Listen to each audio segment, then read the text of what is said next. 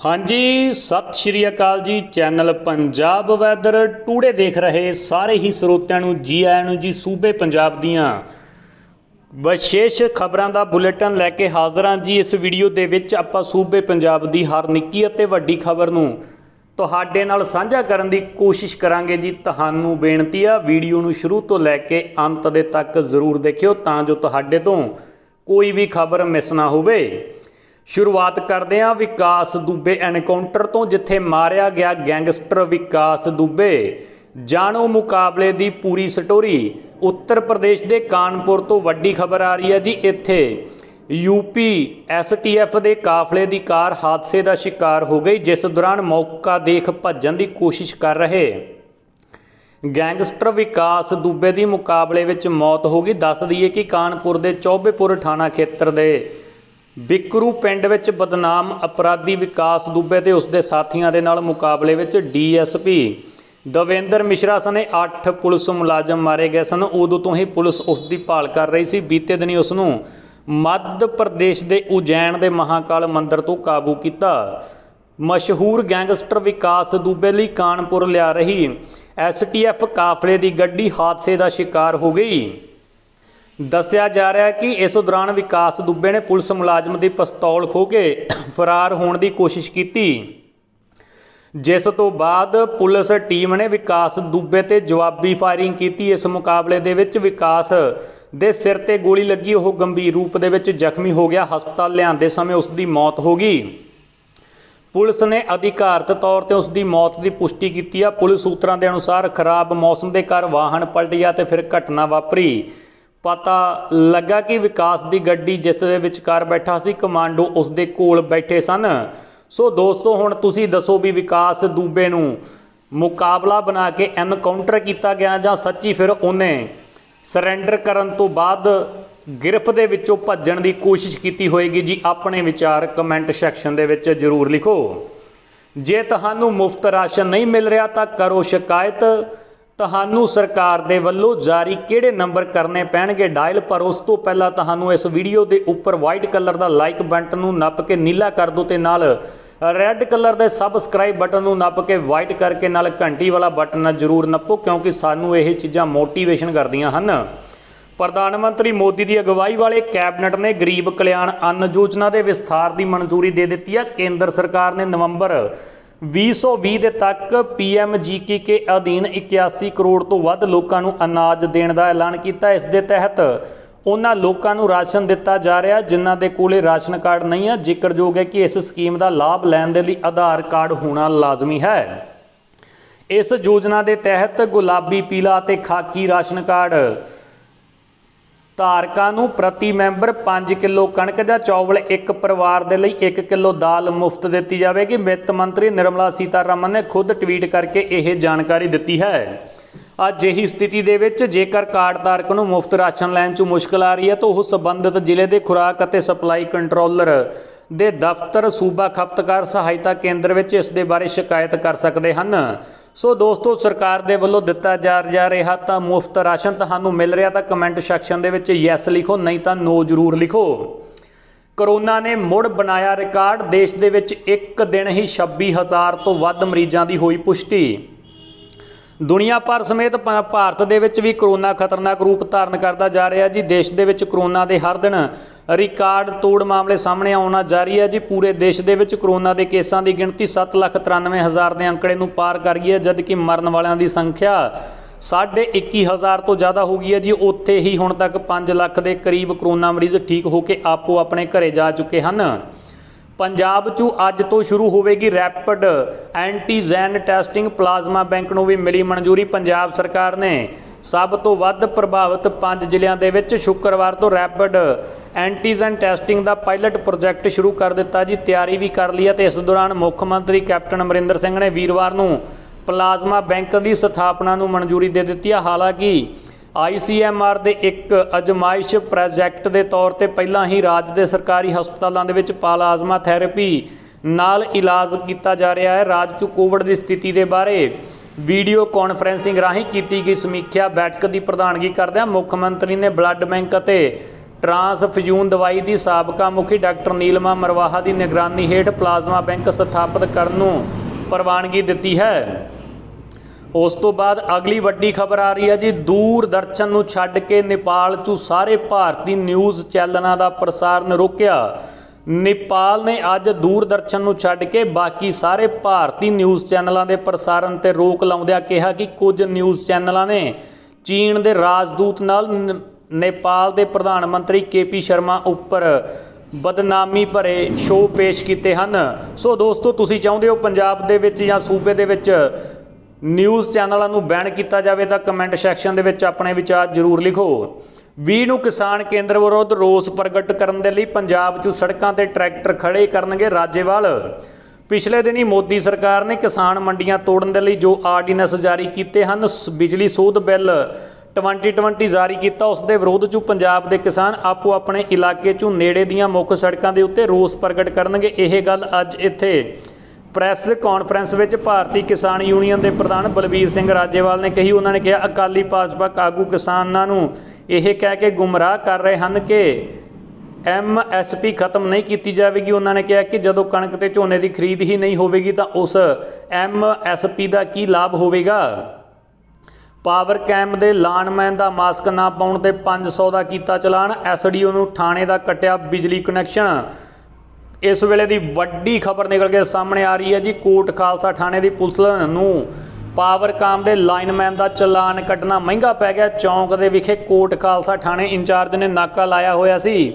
ਇਸ ਦੌਰਾਨ ਖੰਡਾ ਵਾਲਾ ਬਿਜਲੀ ਘਰ ਦਾ ਜਈ ਸਰਬਜੀਤ ਸਿੰਘ ਕਿਸੇ ਖੇਤਰ ਦੇ ਵਿੱਚ ਬਿਜਲੀ ਚਾਲੂ ਕਰਕੇ ਲਾਈਨਮੈਨ ਅਮਰਜੀਤ ਸਿੰਘ ਦੇ ਨਾਲ ਜਾ ਰਿਹਾ ਸੀ। ਇਸ ਦੌਰਾਨ ਪੁਲਿਸ ਮੁਲਾਜ਼ਮਾਂ ਨੇ ਮਾਸਕ ਨਾ ਪਾਉਣ ਤੇ ਲਾਈਨਮੈਨ ਅਮਰਜੀਤ ਸਿੰਘ ਦੀ ਐਕਟਿਵਾ ਨੂੰ ਰੋਕ ਕੇ 500 ਰੁਪਏ ਦਾ ਚਲਾਨ ਕੱਟਿਆ। ਜੇਈ ਨੇ ਪੁਲਿਸ ਮੁਲਾਜ਼ਮ ਨੂੰ ਚਲਾਨ ਨਾ ਕੱਟਣ ਦੇ ਲਈ ਗੁਜ਼ਾਰਿਸ਼ ਕੀਤੀ, ਪਰ ਉਸ ਦੇ ਇਨਕਾਰ ਕਰਨ ਤੋਂ ਬਾਅਦ ਉਸ ਦਾ ਚਲਾਨ ਕੱਟ ਦਿੱਤਾ ਗਿਆ। ਇਸ ਤੋਂ ਬਾਅਦ ਜੇਈ ਨੇ ਸਾਰੀ ਗੱਲ ਐਸਡੀਓ ਧਰਮਿੰਦਰ ਸਿੰਘ ਨੂੰ ਦੱਸੀ। ਐਸਡੀਓ ਵੀਰਵਾਰ ਥਾਣੇ ਸਦਰ ਕੋਟ ਖਾਲਸਾ ਵਿਖੇ ਪਹੁੰਚੇ। ਉਹਨਾਂ ਨੇ ਵੇਖਿਆ ਕਿ ਥਾਣੇ ਦੇ ਵਿੱਚ ਟਿਊਬਵੈੱਲ ਚਲਾਉਣ ਦੇ ਲਈ ਟਰਾਂਸਫਾਰਮ ਦੀ ਤਾਰ ਤੋਂ ਇੱਕ ਲਾਚ ਪਾ ਕੇ ਚੋਰੀ ਬਿਜਲੀ ਕੀਤੀ ਜਾ ਰਹੀ ਹੈ। ਹੀਟਰ ਲਾਏ ਜਾ ਰਹੇ ਹਨ। ਇਸ ਕਰਕੇ ਉਹਨਾਂ ਨੇ ਥਾਣੇ ਦਾ ਕਨੈਕਸ਼ਨ ਵੀ ਕੱਟ ਦਿੱਤਾ ਤੇ ਮੌਕੇ ਤੋਂ ਤਾਰ ਅਤੇ ਹੀਟਰ ਬਰਾਮਦ ਵੀ ਕੀਤੇ। ਬੇਅਦਬੀ ਮਾਮਲੇ ਤੇ ਲੋਹਾ ਲਾਖਾ ਹੋਏ ਭਗਵੰਤ ਮਾਨ, ਮੋਦੀ ਕੈਪਟਨ ਤੇ ਮੜੇ ਦੋਸ਼ ਆਮ ਆਦਮੀ ਪਾਰਟੀ ਪੰਜਾਬ ਦੇ ਪ੍ਰਧਾਨ ਅਤੇ ਮੈਂਬਰ ਪਾਰਲੀਮੈਂਟ ਭਗਵੰਤ ਮਾਨ ਨੇ ਸ੍ਰੀ ਗੁਰੂ ਗ੍ਰੰਥ ਸਾਹਿਬ ਜੀ ਦੀ ਬਰਗਾੜੀ ਵਿੱਚ ਹੋਈ ਬੇਅਦਬੀ ਤੇ ਬਹਿਬਲ ਕਲਾਂ, ਕੋਟਕਪੂਰਾ ਗੋਲੀकांड ਮਾਮਲੇ ਦੇ ਵਿੱਚ ਕੇਂਦਰ ਦੀ ਨਰਿੰਦਰ ਮੋਦੀ ਸਰਕਾਰ ਅਤੇ ਪੰਜਾਬ ਦੀ ਕੈਪਟਨ ਸਰਕਾਰ ਤੇ ਮਾਮਲੇ ਨੂੰ ਲਟਕਾਉਣ ਅਤੇ ਬਾਦਲਾਂ ਨੂੰ ਬਚਾਉਣ ਦੇ ਗੰਭੀਰ ਦੋਸ਼ ਲਾਏ ਹਨ। ਤੁਸੀਂ ਮਾਨ ਦੇ ਦੋਸ਼ਾਂ ਦੇ ਨਾਲ ਕਿੰਨਾ ਕੁ ਸਹਿਮਤ ਹੋ ਕਮੈਂਟ ਸੈਕਸ਼ਨ ਦੇ ਵਿੱਚ? ਆਪਣੇ ਵਿਚਾਰ ਜ਼ਰੂਰ ਲਿਖੋ। ਭਗਵੰਤ ਮਾਨ ਨੇ ਬਹਿਬਲ ਕਲਾ ਗੋਲੀकांड ਦੇ ਵਿੱਚ ਸਿੱਟ ਦੀ ਜਾਂਚ ਨੂੰ ਰੋਕਣ ਦੇ ਲਈ ਸੀਬੀਆਈ ਵੱਲੋਂ ਮਹਾਲੀ ਦੀ ਅਦਾਲਤ ਦੇ ਵਿੱਚ ਅਰਜੀ ਦਾਇਰ ਕਰਨ ਤੇ ਸਖਤ ਇਤਰਾਜ਼ ਜਤਾਇਆ ਹੈ।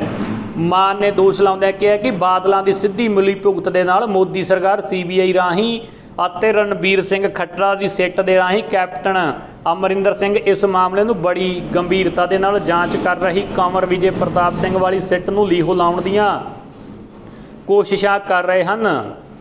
ਕਾਮਿਆਂ ਨੂੰ ਸਮੇਂ ਸਿਰ ਮਿਲੇਗੀ ਤਨਖਾਹ, ਡਿਊਟੀ ਦਾ ਸਮਾਂ ਹੋਵੇਗਾ ਫਿਕਸ, ਸਤੰਬਰ ਤੋਂ ਲਾਗੂ ਹੋ ਸਕਦਾ ਨਵਾਂ ਤਨਖਾਹ। ਕੋਡ ਕੇਂਦਰ ਸਰਕਾਰ ਜਿਸ ਖਾਚੀ ਕਿਰਤ ਸੁਧਾਰ ਕਾਨੂੰਨ ਨੂੰ ਲਾਗੂ ਕਰਨਾ ਚਾਹੁੰਦੀ, ਉਸ ਦੇ ਬੇਹੱਦ ਮਹੱਤਵਪੂਰਨ ਹਿੱਸੇ ਕੋਡ ਆਨ ਵੈਸਿਸ 2019 ਦਾ ਸੰਚਾਲਨ ਇਸ ਸਾਲ ਸਤੰਬਰ ਤੋਂ ਸ਼ੁਰੂ ਹੋਣ ਦੀ ਉਮੀਦ ਹੈ ਜੀ। ਕਿਰਤ ਅਤੇ ਰੁਜ਼ਗਾਰ ਮੰਤਰਾਲੇ ਦੇ ਕਿਰਤ ਸੁਧਾਰਾਂ ਦੀ ਦਿਸ਼ਾ ਵਿੱਚ ਇਹ ਬੇਹੱਦ ਮਹੱਤਵਪੂਰਨ ਕਾਨੂੰਨ ਦੇ ਖਰੜੇ ਨੂੰ ਆਮ ਲੋਕਾਂ ਦੀ ਪ੍ਰਤੀਕਿਰਿਆ ਲਈ ਜਾਰੀ ਕਰ ਦਿੱਤਾ ਹੈ।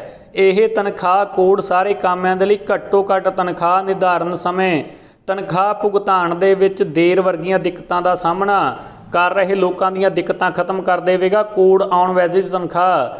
ਕੋਡ ਦਾ ਖਰੜਾ 7 ਜੁਲਾਈ ਨੂੰ ਕੇਂਦਰ ਸਰਕਾਰ ਦੇ ਗਜ਼ਟ ਵਿੱਚ ਪ੍ਰਕਾਸ਼ਿਤ ਕੀਤਾ ਗਿਆ ਹੈ, ਜਿਸ ਤੇ ਆਮ ਲੋਕਾਂ ਤੋਂ 45 ਦਿਨਾਂ ਦੇ ਅੰਦਰ ਰਾਏ ਮੰਗੀ ਗਈ ਹੈ। ਵਿਕਾਸ ਦੁਬੇ ਐਨਕਾਊਂਟਰ ਤੇ ਅਲਖੇਸ਼ ਯਾਦਵ ਨੇ ਕਿਹਾ, ਸਰਕਾਰ ਪਲਟ ਕੇ ਸਰਕਾਰ ਪਲਟਣ ਤੋਂ ਬਚਾਈ। ਕਾਨਪੁਰ ਦੇ ਵਿੱਚ 8 ਪੁਲਿਸ ਮੁਲਾਜ਼ਮਾਂ ਦੀ ਹੱਤਿਆ ਦਾ ਦੋਸ਼ੀ ਵਿਕਾਸ ਦੁਬੇ ਸ਼ੁੱਕਰਵਾਰ ਨੂੰ ਇੱਕ ਪੁਲਿਸ ਮੁਕਾਬਲੇ ਦੇ ਵਿੱਚ ਮਾਰਿਆ ਗਿਆ। ਪੁਲਿਸ ਅਨੁਸਾਰ ਜਦੋਂ ਐਸਟੀਐਫ ਉਸ ਨੂੰ ਮੱਧ ਪ੍ਰਦੇਸ਼ ਤੋਂ ਉਜੈਨ ਤੋਂ ਕਾਨਪੁਰ ਲੈ ਕੇ ਆ ਰਹੀ ਸੀ ਤਾਂ ਰਸਤੇ ਦੇ ਵਿੱਚ ਗੱਡੀ ਪਲਟ ਗਈ। ਮੌਕਾ ਵੇਖ ਕੇ ਵਿਕਾਸ ਦੁਬੇ ਨੇ ਪੁਲਿਸ ਦੇ ਹਥਿਆਰ ਖੋ ਕੇ ਫਰਾਰ ਹੋਣ ਦੀ ਕੋਸ਼ਿਸ਼ ਕੀਤੀ। ਇਸ ਦੌਰਾਨ ਪੁਲਿਸ ਅਤੇ ਵਿਕਾਸ ਦੁਬੇ ਵਿਚਕਾਰ ਗੋਲੀਆਂ ਚੱਲੀਆਂ, ਜਿੱਥੇ ਗੰਭੀਰ ਰੂਪ ਦੇ ਵਿੱਚ ਜ਼ਖਮੀ ਹੋ ਗਿਆ। ਹਸਪਤਾਲ ਜਾਣ ਤੋਂ ਬਾਅਦ ਉਸ ਦੀ ਮੌਤ ਹੋ ਗਈ। ਇਸ ਘਟਨਾ ਤੇ ਯੂਪੀ ਦੇ ਸਾਬਕਾ ਸੀਐਮ ਅਤੇ ਸਪਾ ਦੇ ਪ੍ਰਧਾਨ ਅਲ- ਅਖਿਲੇਸ਼ ਯਾਦਵ ਨੇ ਟਵੀਟ ਕੀਤਾ, ਕਾਰ ਨਹੀਂ ਪਲਟੀ, ਸਗੋਂ ਸਰਕਾਰ ਪਲਟਣ ਤੋਂ ਬਚਾਈ ਗਈ ਹੈ। ਉਸ ਤੋਂ ਬਾਅਦ ਅਗਲੀ ਖਬਰ ਆ ਰਹੀ ਹੈ ਜੀ, ਬਾਬਾ ਨਾਨਕ ਦਾ 13 13 ਕਰ ਲੋਕਾਂ ਨੂੰ ਫ੍ਰੀ ਵੰਡਿਆ ਪੈਟਰੋਲ, ਡੀਜ਼ਲ ਕੇਂਦਰ ਸਰਕਾਰ ਦੇ ਵੱਲੋਂ। ਪੈਟਰੋਲ ਅਤੇ ਡੀਜ਼ਲ ਦੀਆਂ ਕੀਮਤਾਂ ਦੇ ਵਿੱਚ ਭਾਰੀ ਵਾਧਾ ਕੀਤਾ ਗਿਆ, ਜਿਸ ਕਾਰਨ ਲੋਕਾਂ ਨੂੰ ਤੇਲ ਖਰੀਦਣ ਦੇ ਵਿੱਚ ਭਾਰੀ ਦਿੱਕਤਾਂ ਦਾ ਸਾਹਮਣਾ ਕਰਨਾ ਪੈ ਰਿਹਾ ਹੈ। ਸ਼੍ਰੋਮਣੀ ਅਕਾਲੀ ਦਲ ਦੇ ਡੀਸੀ ਦਫ਼ਤਰ ਵੀ ਘੇਰਿਆ ਸੀ। ਹੁਣ ਗੁਰਦੀਪ ਗੋਸ਼ਾ ਦੇ ਵੱਲੋਂ 1 ਲੀਟਰ ਇੱਕ ਪੈਟਰੋਲ ਅਤੇ ਡੀਜ਼ਲ ਦਿੱਤਾ ਜਾ ਰਿਹਾ ਇਹ ਪੈਟਰੋਲ ਅਤੇ ਡੀਜ਼ਲ ਬਿਲਕੁਲ ਮੁਫਤ ਦਿੱਤਾ ਜਾ ਰਿਹਾ ਹੈ। ਉਸ ਤੋਂ ਬਾਅਦ ਅਗਲੀ ਖਬਰ ਆ ਰਹੀ ਹੈ ਜੀ। 6ਵੀਂ ਤੋਂ 10ਵੀਂ ਤੱਕ ਦੇ ਵਿਦਿਆਰਥੀ ਆਨਲਾਈਨ ਪ੍ਰੀਖਿਆ ਦੇ ਲਈ ਰਹਿਣ ਤਿਆਰ। ਵ ਡੇਟ ਸ਼ੀਟ ਜਾਰੀ, ਪੇਪਰ 13 ਨੂੰ। ਇਸ ਵੇਲੇ ਦੀ ਵੱਡੀ ਖਬਰ ਆ ਰਹੀ ਹੈ ਜੀ। ਪੰਜਾਬ 'ਚ 6ਵੀਂ ਤੋਂ 8ਵੀਂ ਤੱਕ ਦੀਆਂ ਪ੍ਰੀਖਿਆਵਾਂ ਲੈਣ ਦੇ ਲਈ ਫੈਸਲਾ ਕੀਤਾ ਗਿਆ ਜੀ। ਆਨਲਾਈਨ ਪ੍ਰੀਖਿਆ ਦੀ ਡੇਟ ਸ਼ੀਟ ਜਾਰੀ ਕਰ ਦਿੱਤੀ ਗਈ ਹੈ, ਜਿਹੜੀਆਂ 13 ਜੁਲਾਈ ਤੋਂ 18 ਜੁਲਾਈ ਤੱਕ ਹੋਣਗੀਆਂ ਤੇ ਪੇਪਰ 20 ਅੰਕਾਂ ਦਾ ਹੋਵੇਗਾ। ਇਸ ਵਿੱਚ ਸਬਜੈਕਟਿਵ ਤੇ ਆਬਜੈਕਟਿਵ ਦੋਵੇਂ ਤਰ੍ਹਾਂ ਦੇ ਸਵਾਲ ਪੁੱਛੇ ਜਾਣਗੇ। ਕਿਹਾ ਗਿਆ ਕਿ ਪੇਪਰ ਚੈੱਕ ਕਰਨ ਦੇ ਲਈ ਅਧਿਆਪਕਾਂ ਨੂੰ ਇੱਕ ਹਫ਼ਤੇ ਦਾ ਸਮਾਂ ਦਿੱਤਾ ਜਾਵੇਗਾ ਤੇ ਜਮਾਤ ਦੇ ਇੰਚਾਰਜ ਰਿਕਾਰਡ ਤਿਆਰ ਕਰਨ ਦੇ ਲਈ ਟੈਸਟਾਂ ਦਾ ਨਤੀਜਾ ਸੰਬੰਧਿਤ ਜ਼ਿਲ੍ਹਾ ਮੈਂਟਰ ਤੇ ਬਲਾਕ ਸੈਂਟਰ ਨੂੰ ਸ਼ੇਅਰ ਕਰਨਗੇ। ਦੇਸ਼ ਦੇ 8 ਰਾਜਾਂ 'ਚੋਂ ਕਰੋਨਾ ਦਾ ਕਹਿਰ, ਪੰਜਾਬ 'ਚੋਂ ਹਾਲਾਤ ਕਾਫੀ ਬਿਹਤਰ।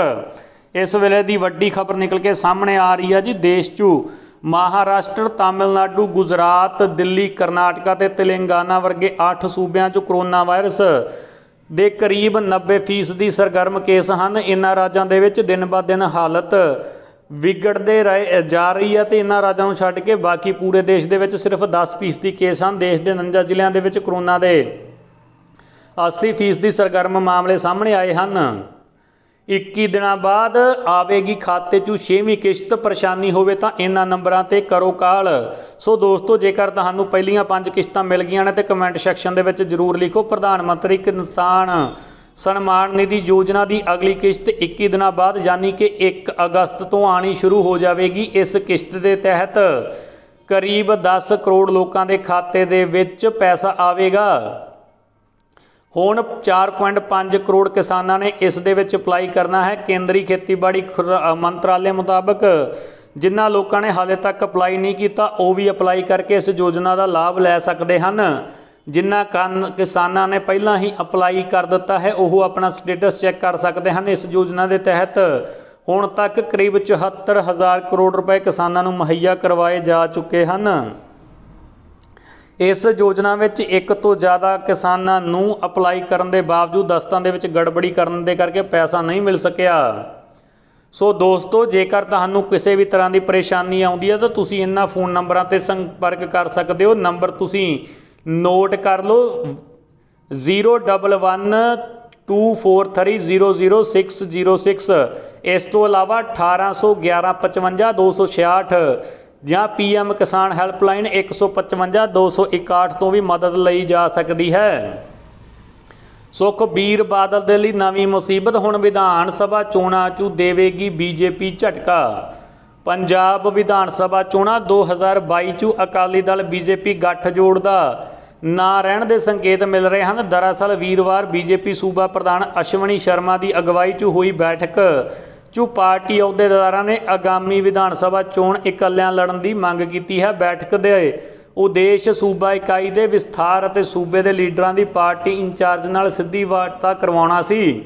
ਸੂਤਰਾਂ ਦੇ ਮੁਤਾਬਕ ਮੌਜੂਦਾ ਕਈ ਅਹੁਦੇਦਾਰਾਂ ਨੇ 2020 ਅ, 2022 ਵਿਧਾਨ ਸਭਾ ਚੋਣਾਂ ਦੇ ਲਈ ਅਕਾਲੀ ਦਲ ਮਿਲ ਕੇ ਚੜਨ ਲੜ ਚੋਣ ਲੜਨ ਤੇ ਅਸਹਿਮਤੀ ਜ਼ਾਹਰ ਕੀਤੀ ਹੈ। ਹਲਕੀ ਹਲਕੀ ਕਿਣਮਣ ਚ ਸੰਗਤਾਂ ਨੇ ਕੀਤੇ ਸ੍ਰੀ ਹਰਮੰਦਰ ਸਾਹਿਬ ਦੇ ਦਰਸ਼ਨ।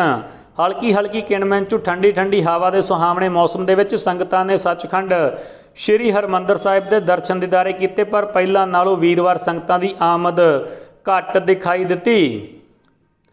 ਦੁਨੀਆ ਦੇ ਵਿੱਚ ਕਰੋਨਾ ਦੇ ਮਾਮਲੇ 1 ਕਰੋੜ 23 ਲੱਖ ਤੋਂ ਪਾਰ। ਇਸ ਵੇਲੇ ਦੀ ਵੱਡੀ ਖਬਰ ਆ ਜੀ, ਚੀਨ ਦੇ ਵੁਹਾਨ ਸ਼ਹਿਰ ਤੋਂ ਸ਼ੁਰੂ ਹੋਇਆ ਕਰੋਨਾ ਵਾਇਰਸ ਮਹਾਮਾਰੀ।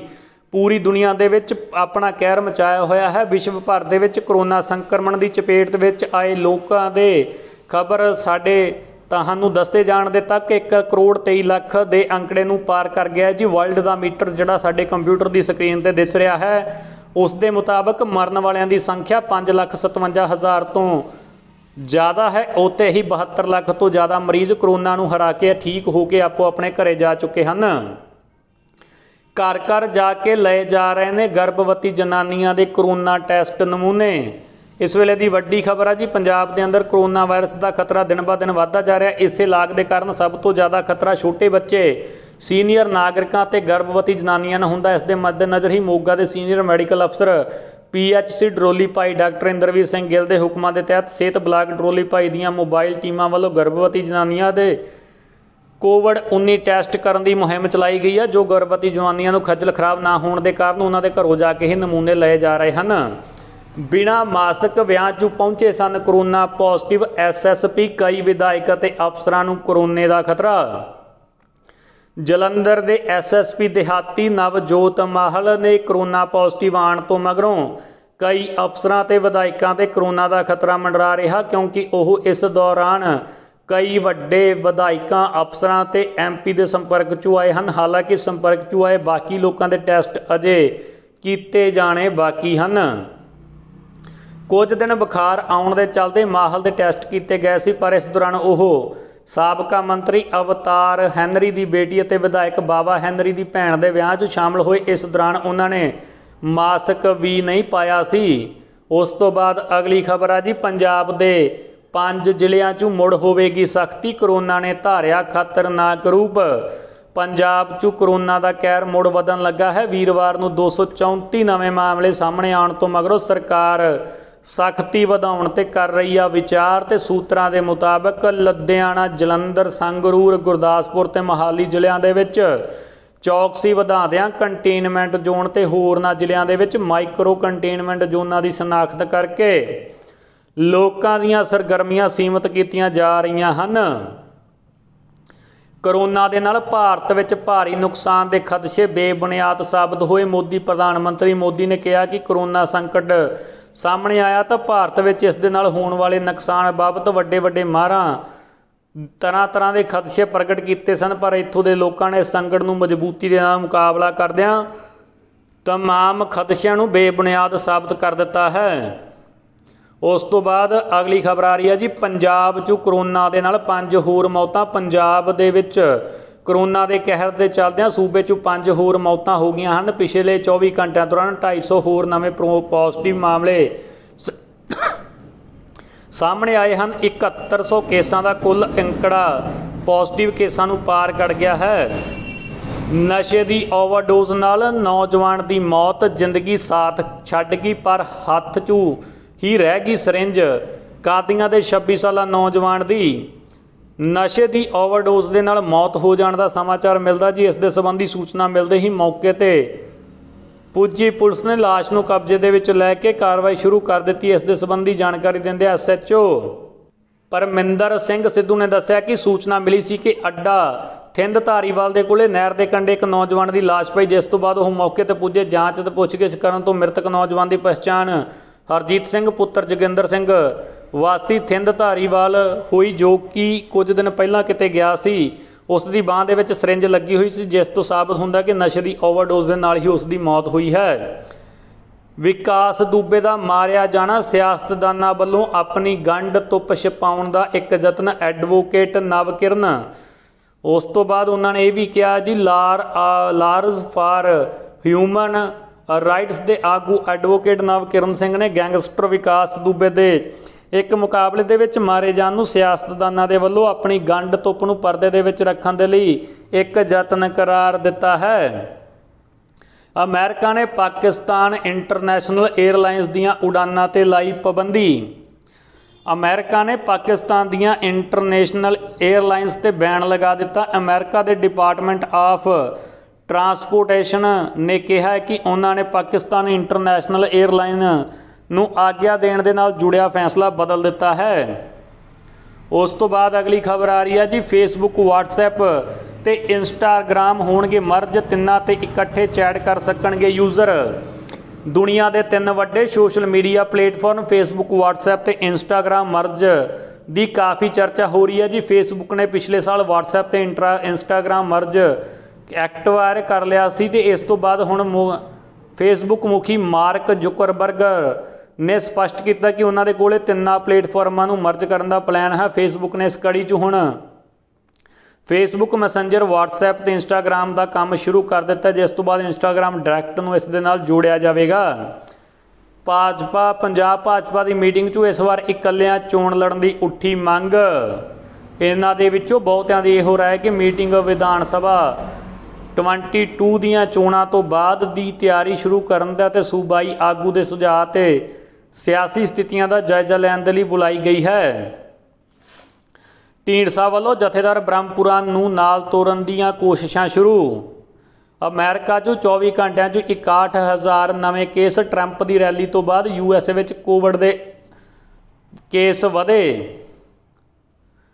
ਉਸ ਤੋਂ ਬਾਅਦ ਵਰਲਡ ਮੀਟਰ ਦੇ ਮੁਤਾਬਕ ਸੰਯੁਕਤ ਰਾਜ ਦੇ ਵਿੱਚ ਕਰੋਨਾ ਵਾਇਰਸ ਦੇ ਮਰੀਜ਼ਾਂ ਦੀ ਗਿਣਤੀ ਸ਼ੁੱਕਰਵਾਰ ਸਵੇਰੇ 32 ਲੱਖ 19 ਹਜ਼ਾਰ ਹੋ ਗਈ। ਕੁੱਲ 1 ਲੱਖ 35 ਹਜ਼ਾਰ 808 ਲੋਕਾਂ ਦੀ ਮੌਤ ਵੀ ਹੋ ਚੁੱਕੀ ਹੈ। ਹਾਲਾਂਕਿ 14 ਲੱਖ 26000 ਲੋਕ ਠੀਕ ਹੋ ਚੁੱਕੇ ਹਨ, ਜੋ ਕਿ ਸੰਕਰਮਿਤ ਕੁੱਲ ਦਾ 44% ਹੈ। ਸੋ ਦੋਸਤੋ, ਇਹ ਸਨ ਸੂਬੇ ਪੰਜਾਬ ਦੀਆਂ ਇਸ ਵੇਲੇ ਦੀਆਂ ਆਮ ਅਤੇ ਖਾਸ ਖਬਰਾਂ। ਇਸ ਵੀਡੀਓ ਦੇ ਵਿੱਚ ਇੰਨਾ ਹੀ। ਅਗਲੀ ਵੀਡੀਓ ਦੇ ਵਿੱਚ ਆਪਾਂ ਹੋਰ ਨਵੀਂ ਤਾਜ਼ਾ ਜਾਣਕਾਰੀ ਲੈ ਕੇ ਹਾਜ਼ਰ ਹੋਵਾਂਗੇ। ਤਦ ਤੱਕ ਲਈ ਦਿਓ ਇਜਾਜ਼ਤ। ਸਤਿ ਸ਼੍ਰੀ ਅਕਾਲ ਜੀ।